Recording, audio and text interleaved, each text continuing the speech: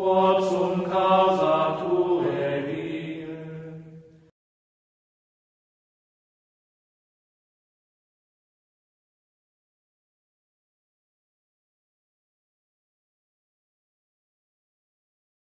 Reconare Jesu pie, quod sum causa